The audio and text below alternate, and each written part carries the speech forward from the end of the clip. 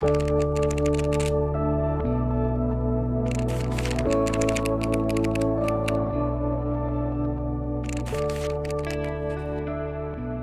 10 year old Shannon, well done for getting this far.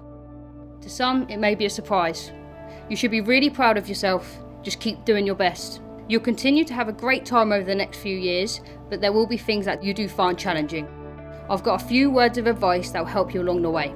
There'll be times where you worry about your weight and put yourself down for it. The most frequent conversation you have with someone will be with yourself. Make them positive.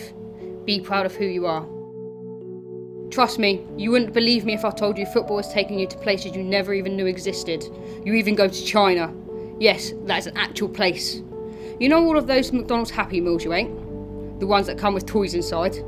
Most of them say made in China on them. Yes, you went there. So maybe don't eat too many of those and perhaps lay off the prawn cocktail crisps. You will realise that considering what you eat will be an important part of being an athlete. You'll learn how to fuel yourself properly and it will really help with your performance. You have such a supportive family and you have surrounded yourself with positive people who have helped shape, guide, and develop you into the person that you are today. Sean, your brother, stop fighting him.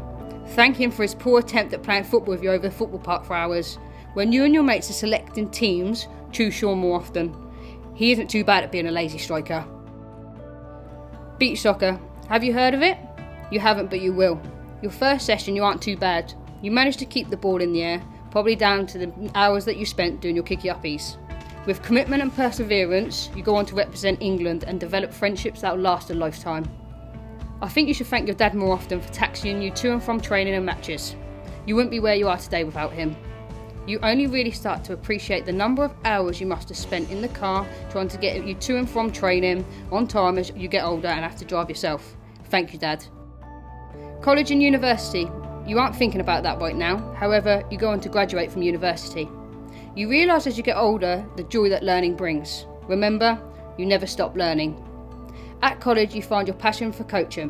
When you find this passion, something that gives you purpose and meaning, give everything you can, gain as much experience as possible, and enjoy the journey. 15 years later, and you're still playing football and loving the game. You wouldn't believe some of the pitches you get to play on now. They are so much better than the football park.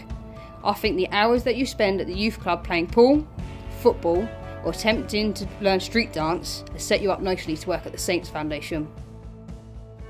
Shannon, as you can see, you still love to talk. Can you hear that? Shan, dinner!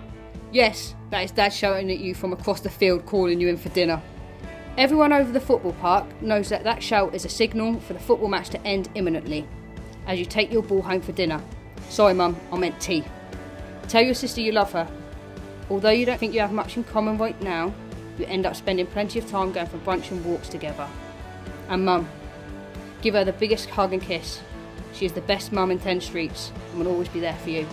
Love you loads, Shannon. Keep working hard.